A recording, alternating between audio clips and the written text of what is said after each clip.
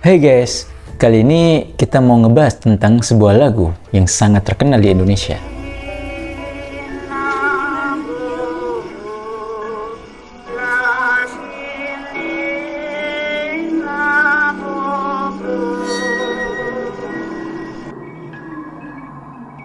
Gue sangat yakin mungkin di antara kita semua pernah dinyanyikan oleh orang tua kita tentang lagu ini.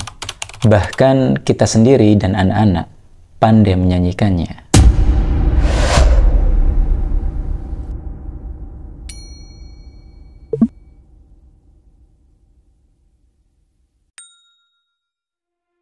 Lagu ini tentu tak asing terdengar di telinga kita. Namun siapa sangka, ternyata di balik semua itu, lagu Nina Bobo memiliki misteri yang mengerikan. Banyak sekali isu yang beredar tentang kemistisan lagu Nina Bobo ini. Banyak yang beranggapan bahwa lagu tersebut mengandung makna horor yang sangat menyeramkan. Padahal kalau kita dengarkan secara seksama, lagu ini terdengar biasa aja dan hampir nggak ada kata yang menyeramkan sedikit pun.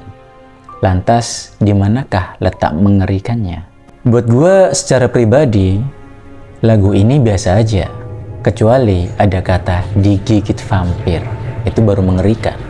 Tapi yang perlu kita garis bawahi dan telisik lebih jauh lagi, yakni apa yang menyebabkan lagu ini tercipta, dan lantas tragedi apa yang terjadi setelahnya ketika lagu ini ada.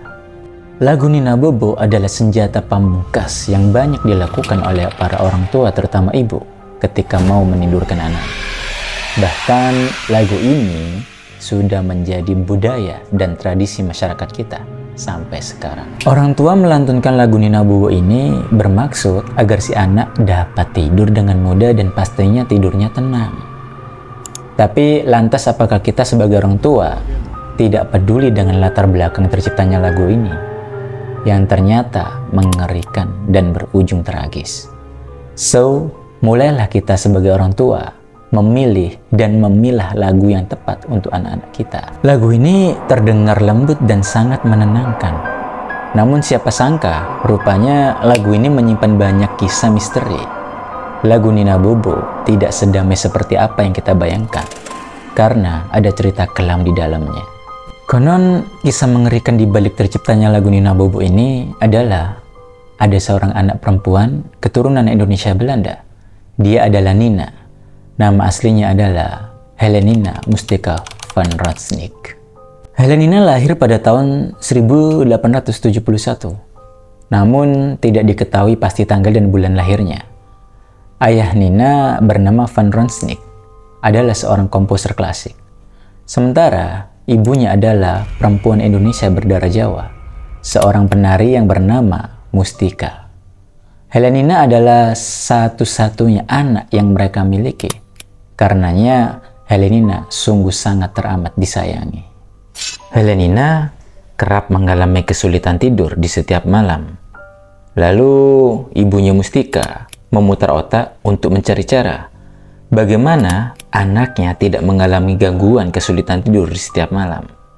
Hingga akhirnya ibunya bersenandung asal dan belum ada liriknya. Namun senandungnya sungguh enak didengarkan sehingga senandung itu jadi obat yang mujarab untuk tidur anaknya. Mendengar senandung dari Mustika, Van Ransnick memberikan ide untuk menggunakan lirik agar menjadi satu kesatuan yang utuh dan lebih nyaman untuk didengarkan. Diperolehlah lirik lagu berjudul Nina Bobo yang akhirnya ditambahi dengan kalimat untuk menakut-nakuti, yakni digigit nyamuk.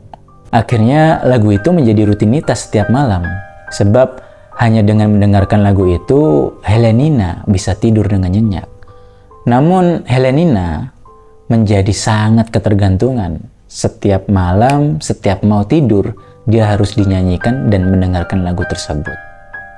Dan pada tahun 1875, muncullah kejadian tragis yang menimpa keluarga mereka guys. Di usianya yang baru menginjak 6 tahun, Helenina meninggal dunia. Ia meninggal akibat mengidap penyakit yang cukup parah. Sehingga kedua orang tuanya, Van Rotsnik dan Mustika, sangat terpukul atas kepergian putri kecil satu-satunya yang dimilikinya. Sungguh tragis. Hari berganti, waktu berlalu. Pada suatu malam, Van Ronsnick kerap melihat istrinya Mustika menyanyikan lagu Nina Bubuk sendirian. Ia melakukan itu karena merasa Helenina masih hidup dan memintanya untuk menyanyikan lagu pengantar tidurnya. Eh, dan di sini Mustika tetap menyanyikan lagu Nina Bobo pada malam hari sampai bertahun-tahun setelah kepergian Helenina. Pada tahun 1920, Mustika, istri dari Van Ronsnick, meninggal dunia. Ia meninggalkan Van Ronsnick yang hidup seorang diri di rumah tersebut. Di rumah yang penuh kenangan di antara mereka. Tak sampai di situ saja, ternyata arwah Helenina suka menghantui ayahnya. Van Ronsnick pernah terbangun lantaran mendengar suara tangisan anak kecil di malam hari. Arwah Helenina menghampiri ayahnya dan meminta untuk dinyanyikan lagu Nina Bobo di setiap malam. Hal ini tentu saja membuat pikiran Van Ronsnick jadi terganggu. Mentalnya, jiwanya, hingga akhirnya Van Ronsnick menyanyikan lagu Nina Bobo berulang-ulang setiap malam di kamarnya. Sampai pada akhirnya Van Ronsnick meninggal dunia. Dari sini kita bisa mengambil kesimpulan yang bermasalah bukanlah lagunya, melainkan kisah tragis di dalamnya. Tapi apa pun itu, kita sebagai orang tua tidak mungkin menyanyikan lagu yang ternyata memiliki cerita tragis di dalamnya. Semua gua kembalikan lagi kepada kalian. Percaya atau tidak, berani atau takut, melainkan semua tergantung dari pola pikir kita, bagaimana menyikapinya. Gua Adam Marianda. Stay with me.